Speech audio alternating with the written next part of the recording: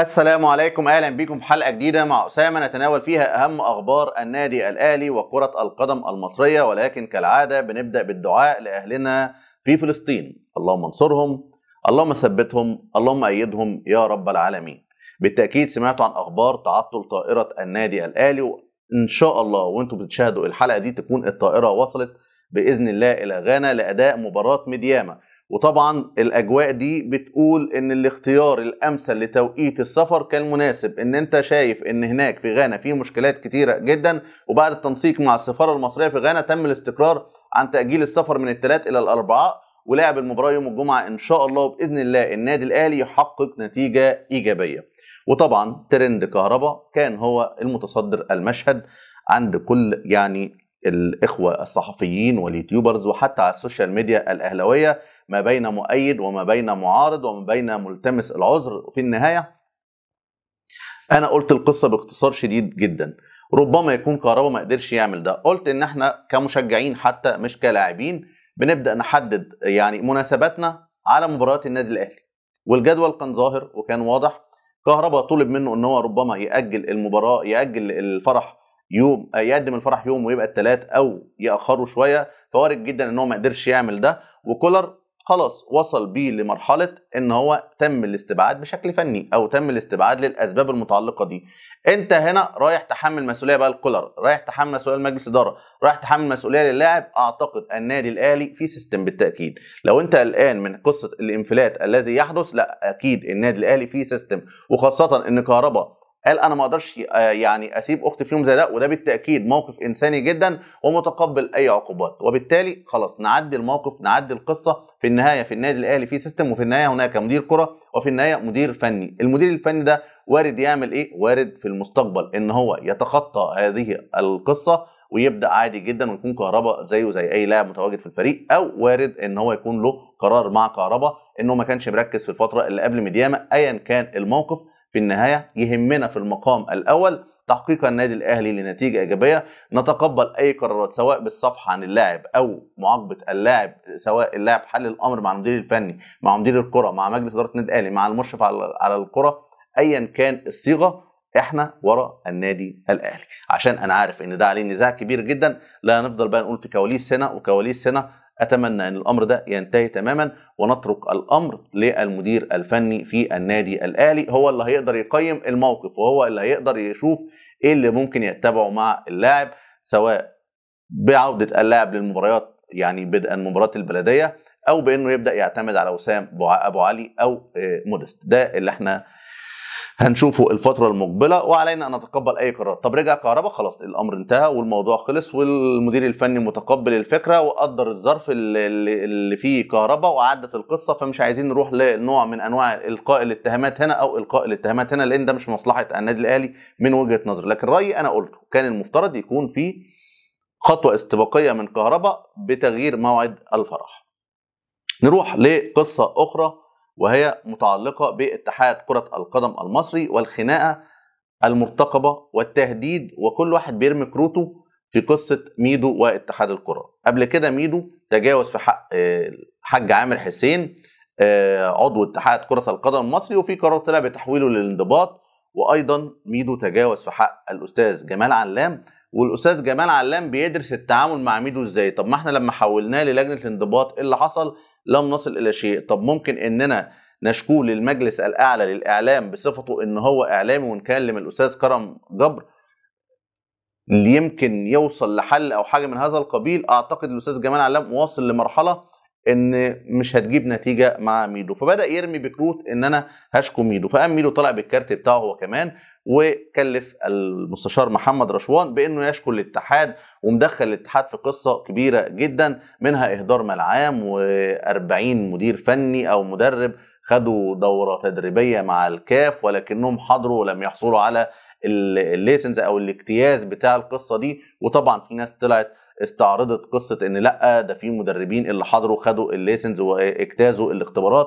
فالقصة في النهاية هي مجرد game بيتلعب ما بين أحمد حسام ميدو مع مجلس إدارة الاتحاد المصري لكرة القدم. لا تستبعد لا تستبعد على الإطلاق كابتن حازم إمام من الصورة لأن أعتقد ميدو بيلعب على فكرة شيلوا الضغط من على حازم إمام ونروح بالضغط على عامر حسين وجمال علام عشان طبعا العلاقة اللي بين ميدو وبين اتحاد كرة القدم المصري. وده ليس معناه إن لو اتحاد كرة القدم المصري مخطئ وعنده مشكلة في تطبيق لوائح أو في أمور مادية إن ميدو ما يرفعش شكوى ويقدر يجيب الحق ده بالمحكمة لأن في النهاية إحنا يهمنا الصالح العام. لا مع طرف ضد طرف ولكن بنحاول نوضح الصورة. طبعا بما إننا اتكلمنا عن اتحاد كرة القدم ظهر كده بالونة اختبار. وبالونة اختبار خرجت من صحفيين منتمين لنادي الزمالك. وقال لك إيه؟ طبعا نتمنى الشفاء العاجل لكابتن محمد عبد الشافي وأيضا محمود حمدي الونش. ويرجعوا بالسلامة إن شاء الله. فطلع بالونه اختبار كده من صحفيين زملكاوية إن الزمالك بصدد دراسة إن هو يرفع اسم أي لاعب من الاثنين لنهاية الموسم ويبدأ يتعاقد مع ظهير أيسر لاعب حر. لأن اللاعب الحر ممكن أنت تسجله في أي وقت ومش مرتبط بفترات القيد لأن اتحاد كرة القدم الدولي دايما بيروح لمصلحة إن اللاعب يلعب. بس الكلام ده في حالة إيه؟ إن القايمة عندك يكون فيها مكان فاضي. مش إنك تخلي مكان وتجيب مكانه لاعب آخر. دي ممكن تمشي في اتحاد الكرة؟ آه. مشيت بالتجاوز واتعملت مع اللاعب أحمد سمير فرج. لما رفعوا اسم كابتن أحمد حسن من قائمة الزمالك وسجلوا اللاعب في شهر مارس وده من وجهة نظري كان أمر مخالف. بس هم اعتمدوا على إن أحمد حسن رايح لمنتخب مصر فبيأدي مهمة قومية فهم عاوزين يعيدوا القصة مرة أخرى. ولما لا وما يكونش ليه فيه مجاملات ولكن الأمر أصبح صعب والأمر فيه لوائح. وده هياخدنا لنقطة مهمة جدا قبل ما نروح لنقطة أحمد مجاهد اللي كان مهندس صفقات كتير داخل الاتحاد المصري لكرة القدم وهي نقطة الرؤية.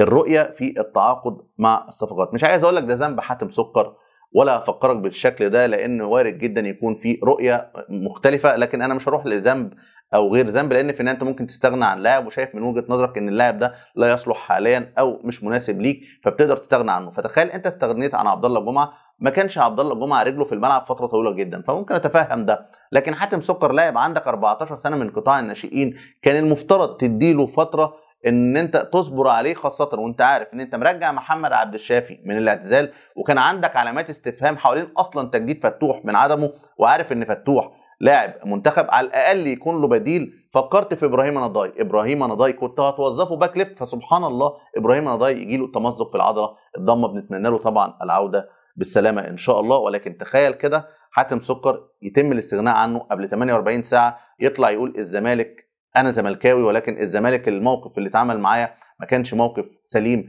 انهم يسيبوني في الفترة دي وما كانش هيلاقي نادي راح طبعا النادي الإسماعيلي. على المقابل أيضا عبد الله جمعة لما يطلع صالح جمعة يتكلم ويقول لك الناس بتقول إن تم إنهاء التعاقد بالتراضي عبد الله جمعة لسه معاه شيكات بتوقيع كابتن حسين لبيب ومش عارفين ناخد فلوسنا وعشان عارفين آخرنا إيه ممكن نلجأ لمحامي أنس بن ميم وممكن نشكو نادي الزمالك. كل الأمور دي الإعلام يغض الطرف عنها. ولكن أنا يعنيني في المقام الأول هي سلامة اللاعبين. وفي المقام الثاني إن ما يتمش تمييز نادي عن نادي. في لوائح بتطبق ولابد من إننا نطبق اللوائح على الجميع لأن ده هو اللي بيمنع التعصب لما ترسي مبادئ العدالة. على عكس اللي كان بيعمله طبعا كابتن أحمد مجاد اللي طلع في لقاء مع كابتن أحمد شوبير وأنا مختلف مع نقطة قالها بشكل واضح جدا وهي نقطة إن هو عمره ما جامل حد.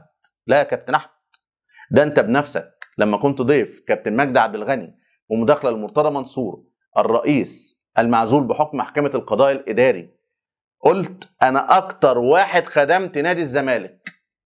إزاي يا كابتن أحمد؟ قلت أنا كان عند نادي الزمالك مشكلة وكان عنده إيقاف قيد وكان عنده مبالغ مالية مستحقة لدى الاتحاد فجبت عمر جمال لاعب الإسماعيلي وأيدته في نادي الزمالك. أما أنتوا جبتوا عمر جمال أيدته في نادي الزمالك عشان النادي الزمالك كان محتاجه في القائمه الأفريقية. ده اعترافك أنت يا باشمهندس أحمد.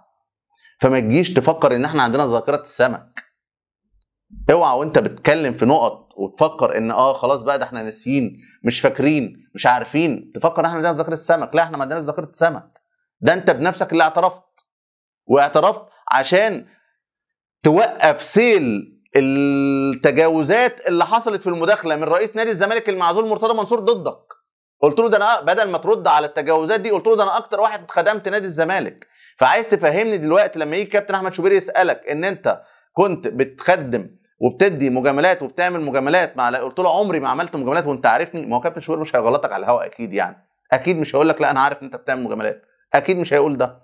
لكن في النهاية أنت اللي قلت ده. لما طلعت وقلت أنا أكتر واحد خدمت نادي الزمالك. فيا جماعة ما تعتمدوش على ذاكرة السمك عند الناس لأن الموضوع ده مستفز الحقيقة جدا والناس طيبة والناس بتنسى وبالتالي بتسمع وبتصدق وإن كان جماهير النادي الأهلي مستحيل تصدق المهندس أحمد مجاد. بطل معركة ليس كل ما يعرف يقال.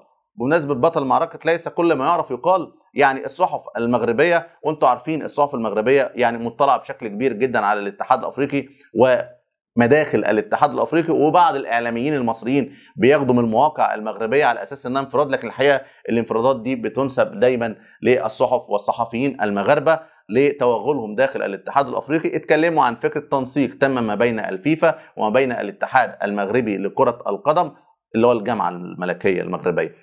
اسمها عندهم أعتقد كده يعني.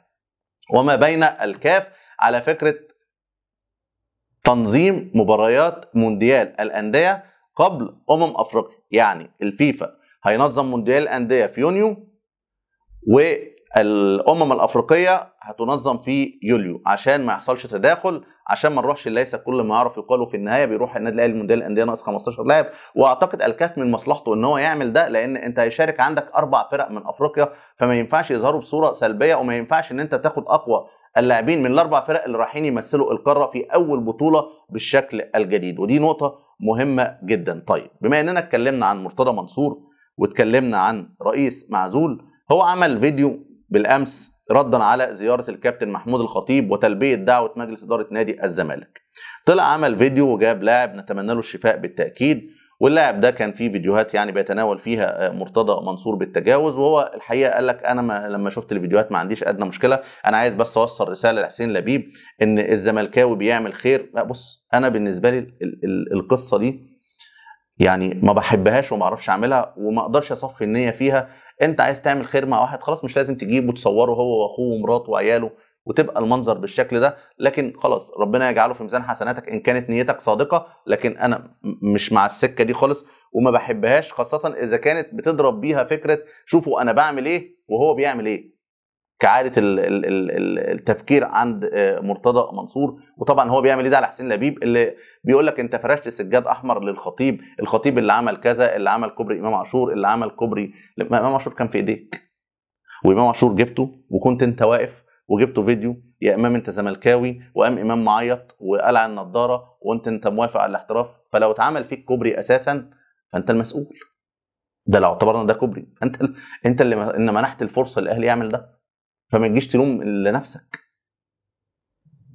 إن أنت عاوز تشيل أو معترض على شيل لفتة نادي القرن ما ده أنت معتدي على حق من حقوق النادي الأهلي.